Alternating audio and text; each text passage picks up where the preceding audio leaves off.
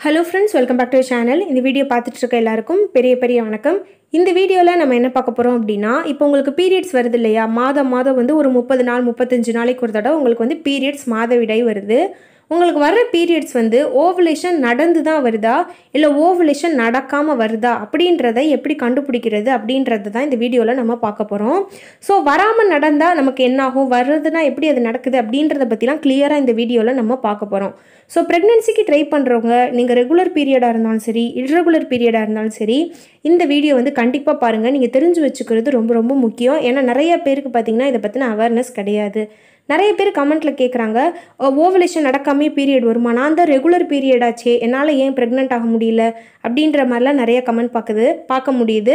அதை பற்றி தான் இந்த வீடியோவில் நம்ம பார்க்க போகிறோம் ஸோ ஓவலேஷன் நடக்காமல் எப்படி பீரியட்ஸ் வரும் அப்படின்றத ஃபஸ்ட்டு பார்த்துடலாம் இந்த ஓவலேஷன் அப்படின்றது உங்கள் எல்லாருக்குமே ஓரளவு தெரிஞ்சிருக்கும். ஒவ்வொரு மாதமும் உங்களோட ஏதாவது ஒரு ஓவரியிலேருந்து ஒரே ஒரு எக்கு மட்டும் நல்லா வளர்ந்து ஒரு பதினஞ்சாவது நாள் போல் வெடித்து வெளியே வரும். வந்து டியூப்பில் வெயிட் பண்ணும். அதை தான் ஓவலேஷன் அப்படின்னு சொல்கிறோம் அப்படி வெடித்து வெளியே வரும்போது நீங்கள் உங்கள் கணவரோட இணைந்தீங்க அப்படின்னா நீங்கள் கர்ப்பம் தரிக்க முடியும். அப்படி இல்லைனா அந்த எக் என்ன ஆகும் அப்படின்னா ஒரு ரெண்டு வாரம் கழித்து செதஞ்சு உங்களுக்கு பீரியட்ஸாக வந்துடும் இதுதான் ஓவலேஷன் இது நடக்காமல் எப்படி எங்களுக்கு பீரியட்ஸ் வரும் அப்படின்னு பார்த்தீங்கன்னா ஒரு ஒரு மாதமும் எப்படி எக்கு வளருது? நான் சொன்ன மாதிரி உங்களோட ஓவரி ரெண்டு ஓவரி இருக்கும். ஒரு ஒரு மாதமும் உங்களுக்கு ஹார்மோன் தூண்டப்பட்டு ஒரே ஒரு கருமுட்டை வளர்ந்து கர்ப்பமாக தயாராகும். அந்த மாதிரி அந்த கருமுட்டை வளரும்போது அதோடு சேர்ந்து நம்ம கர்ப்பப்பையோட சுவர் எண்டோமெட்ரியம் அப்படின்னு சொல்லுவாங்க. அந்த கர்ப்பப்பையோட பகுதி என்னாகும் அப்படின்னா ஒரு குறிப்பிட்ட அளவு தடிமனாக வளர ஆரம்பிக்கும். எவ்வளோ வளரணும் அப்படின்னு பார்த்தீங்கன்னா நைன் டு டுவெல் எம்எம் பார்த்தீங்கன்னா அந்த கர்ப்பப்பையோட சுவர் வந்து தடிமனாக வளரும். ஸோ நல்லா ஞாபகம் வச்சுக்கோங்க ஒரு சைடு நமக்கு வந்து ஓவரியில் எக்கு வளர்ந்துட்டே இருக்கும். ஒரு சைடு பார்த்தீங்கன்னா அந்த குழந்தைய தாங்கிறதுக்காக ஒருவேளை நீங்கள் இப்போ கிர கர்ப்பம் அடைஞ்சிட்டீங்க உங்கள் டியூப்பில் இருக்க எக்கு வந்து ஃபர்டிலைஸ் ஆகிடுச்சு ஸ்பேமோட மீட் ஆகி அது ஒரு சில நாள் கழித்து பார்த்தீங்கன்னா கொஞ்சம் கொஞ்சமாக கீழே நழுவி நழுவி டியூப்லேருந்து இறங்கி கீழே யூட்ரஸில் வந்து அந்த அந்த குழந்தை வந்து இம்ப்ளான்ட் ஆகும். ஸோ அப்போ இம்ப்ளான்ட் வரும்போது அந்த கர்ப்பப்பையினால் அந்த குழந்தைய கவ்வி பிடிச்சி வளர வைக்கணும். ஸோ அதை தான் அந்த இம்ப்ளான்டேஷன் அப்படின்னு சொல்லுவாங்க. ஸோ அந்த அந்த கர்ப்பப்பையோட சுவர் பார்த்திங்கன்னா ஒரு குறிப்பிட்ட அளவு நல்லா தடிமனாக ஸ்ட்ராங்காக இருக்கணும். ஸோ அதுவும் நமக்கு வளரும்.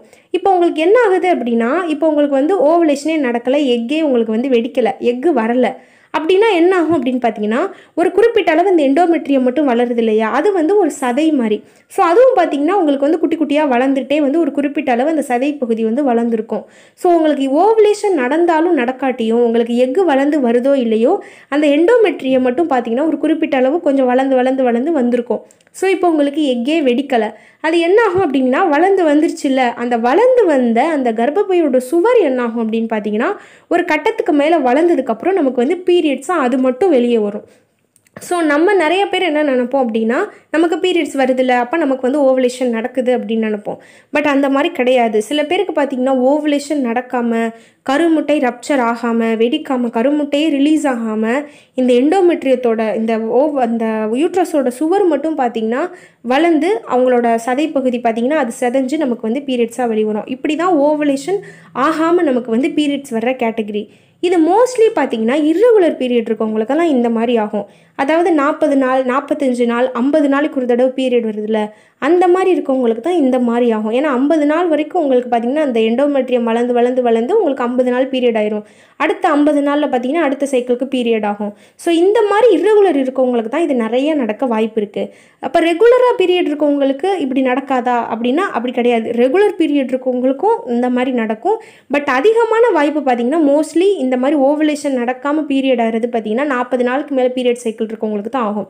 இரகுலர் இருக்கவங்களுக்கு மோஸ்ட்லி பார்த்தீங்கன்னா கருமுட்டை வளர்ந்து அதுவும் வந்து உங்களுக்கு பீரியட் வரும். சில பேருக்கு பார்த்தீங்கன்னா ரொம்ப ரேராக பார்த்தீங்கன்னா ஓவலேஷன் நடக்காமல் ரெகுலர் பீரியடாக இருந்தால் கூட ஓவலேஷன் நடக்காமல் கருமுட்டை வளர்ந்து வெடிக்காமல் முப்பது நாளைக்கு ஒரு தடவை அந்த எண்டோமெட்ரியை மட்டும் வளர்ந்து வளர்ந்து வளர்ந்து அவங்களுக்கு பீரியட் வரும். அவங்க என்ன நினைப்பாங்க? நம்ம முப்பது நாள் பீரியட் சைக்கிள் தான். நமக்கு வந்து பீரியட்ஸ் ஓவலேஷன் நடந்து தான் வருது அப்படின்னு நினைப்பாங்க. பட் அந்த மாதிரி கிடையாது. இப்போ ரீசெண்டாக கூட பார்த்தீங்கன்னா இன்றைக்கி கூட இந்த வீடியோ நான் இப்போ பேசிகிட்டு இருக்கல இன்றைக்கி கூட ஒரு கமெண்ட்டில் நான் வந்து பார்த்தேன். ஒரு சிஸ்டர் வந்து கேட்டிருந்தாங்க எனக்கு thirty days period cycle so நானாக ஒரு தடவை எனக்கு ப்ரெக்னென்சி டிலே ஆகுது அப்படின்னு டாக்டர் போய் பார்க்குறப்ப அவங்களுக்கு கருமுட்டை வளர்ச்சி இல்லைன்னு சொல்லியிருக்காங்க. ஸோ நான் ரெகுலர் பீரியட் தானே சிஸ்டர் எனக்கு எப்படி கருமுட்டை வளர்ச்சி வந்து இல்லாமல் இருக்கும் அப்படின்னு கேட்டிருக்காங்க. அதோட பதில் தான் இந்த வீடியோவில் நான் சொல்லியிருக்க விஷயம். ஸோ ரெகுலர் பீரியடாக இருந்தால் கூட எக்கு ரிலீஸ் ஆகாமல் நம்ம கர்ப்பப்பையில் இருக்க திசுக்கள் அந்த அந்த வளர்ந்த எண்டோமெட்ரியம் வந்து நமக்கு பீரியடாக வரும். இதுதான் பார்த்தீங்கன்னா ஓவலேஷன் நடக்காமல் பீரியட்ஸ் வரக்கூடிய கேட்டகரி ஸோ இப்போ வந்து நீங்கள் வந்து ஓவலேஷன் நடந்து தான் உங்களுக்கு பீரியட் வருதா? ஓவலேஷன் நடக்காமல் பீரியட் வருதா? அப்படின்றத ஒரு சில வழிகளில் நம்ம கண்டுபிடிக்கலாம். சில பேருக்கு பார்த்தீங்கன்னா ஓவலேஷன் சிம்டம்ஸ் தெரியும். நிறைய வீடியோவில் நான் சொல்லியிருக்கேன். ஒயிட் டிஸ்சார்ஜ் வந்து எக் ஒயிட் மாதிரி. ஸோ முட்டையோட வெள்ளைக்குரு மாதிரி உங்களுக்கு வரலாம். மார்பகங்களில் வலி வரலாம். அடி வயிறில் எக் ரிலீஸ் ஆகும்போது அடி வயிறில் வலி வரலாம். பேக் பெயின் வரலாம். அதுக்கப்புறம் பார்த்தீங்கன்னா உங்களுக்கு உடல் உறவுல ஒரு சின்ன ஈடுபாடு இருக்கலாம். அந்த ஹார்மோன் சேஞ்சஸ்னால இது எல்லாமே பார்த்தீங்கன்னா பேசிக்காக இருக்கக்கூடிய ஓவலேஷனோட சிம்டம்ஸ் ஆனால் என்ன ஒரு விஷயம் அப்படின்னா நிறைய பேருக்கு நார்மலாக வரக்கூடியது அதாவது நார்மலாகவும் அவங்களுக்கு அடி வயிறு வலிக்கலாம் ஹீட்னால வலிக்கலாம் சாப்பிட்டதுனால ஒத்துக்காமல் வலிக்கலாம். பேக் பெயினும் பார்த்தீங்கன்னா பெண்களுக்கு நம்ம வேலை பார்க்குறனால வலிக்கலாம். ஸோ நிறைய பேருக்கு பார்த்தீங்கன்னா ஓவலேஷன் சிம்டம்ஸ் வச்சு எக்ஸாக்டாக கண்டுபிடிக்க முடியறதில்ல. அந்த மாதிரி இருக்கவங்க எப்படி கண்டுபிடிக்கணும்? ஓவலேஷன் ஆயிருக்கோமா இல்லையா? அப்படின்றத எப்படி கண்டுபிடிக்கணும் அப்படின்னு பார்த்தீங்கன்னா ரெண்டு மெத்தட் இருக்குது ஒன்று பார்த்தீங்கன்னா ஓவலேஷன் கிட்டில் செக் பண்ணி பார்க்குறது இன்னொரு மெத்தம் பார்த்தீங்கன்னா இந்த ஃபாலிகுலர் ஸ்டடி பண்ணி பார்க்குறது ஸோ உங்களுக்கு வந்து ப்ரெக்னென்சி டிலே ஆகிட்டே இருக்குது நீங்கள் ரெகுலராக தான் பீரியட்ஸ் உங்களுக்கு வருது. அப்படின்னா அடுத்து நீங்கள் பண்ண வேண்டியது இந்த ரெண்டு விஷயங்கள் தான். ஃபாலிகுலர் ஸ்டடி அப்படின்றது என்ன அப்படின்றது நிறைய பேருக்கு தெரிஞ்சிருக்கும். ஃபாலிகுலர் ஸ்டடின்றது ஒரு பெரிய ட்ரீட்மெண்ட் கிடையாது. உங்களோட ஃபாலிக்குல் எப்படி இருக்குது அப்படின்றத ஸ்டடி பண்ணுறது ஃபாலிக்குல் அப்படின்றது இந்த கருமுட்டை. அதோட கருமுட்டை நீர் நிறைஞ்ச பை தான் அந்த குட்டி குட்டி அது வந்து உங்கள் ஓவரியில் இருக்கு இல்லையா?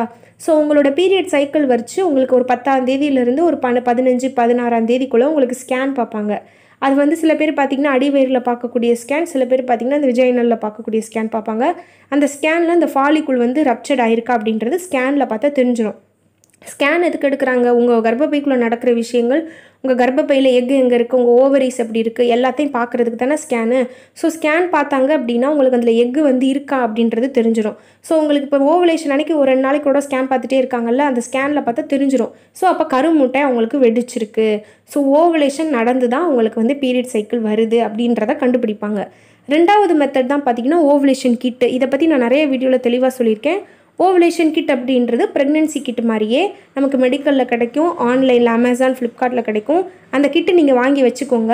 உங்களோட பீரியட் சைக்கிள் இருக்கு இல்லையா அதை பொறுத்து உங்கள் ஓவலேஷன் வந்து கால்குலேட் பண்ணி வச்சுக்கோங்க. இப்போ ஒரு முப்பது நாள் அப்படின்னா உங்களோட ஓவலேஷன் ஒரு பதினஞ்சு நாள் போல் இருக்கும். ஸோ அந்த பதினஞ்சாவது நாள் அன்றைக்கி நீங்கள் என்ன பண்ணணும் அப்படின்னா அந்த ஓவலேஷன் கிட்டில் வந்து காலையில் எந்திரிச்சோன்னே யூரின் போட்டிங்க அப்படின்னா ரெண்டு கோடு வருது. ரெண்டு கோடு நல்லா டார்க்காக சேமாக இருக்குது அப்படின்னா உங்களுக்கு ஓவலேஷன் நடக்குது. ஸோ நீங்கள் பன்னெண்டாவது நாள் செக் பண்ணிட்டீங்க பதினாலாவது நாள் செக் பண்ணிட்டீங்க பதினஞ்சு பதினாறு பதினெட்டு இருபது இருபத்தி ரெண்டு வரைக்கும் உங்களுக்கு ரெண்டு லைன் காட்டவே இல்லை. ஒரு லைன் தான் காட்டுது அப்படின்னா உங்களுக்கு ஓவலேஷன் நடக்கவே இல்லை அப்படின்றது அர்த்தம்.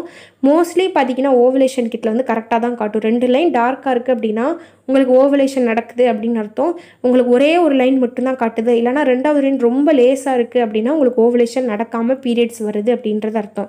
ஸோ நீங்கள் டாக்டரை போய் பார்க்காம உங்களுக்கு ஓவலேஷன் நடக்குதா இல்லையா அப்படின்னு நீங்கள் தெரிஞ்சுக்கணும் அப்படின்னா நீங்கள் ஓவலேஷன் கிட்டில் தான் நீங்கள் வந்து செக் பண்ணணும்.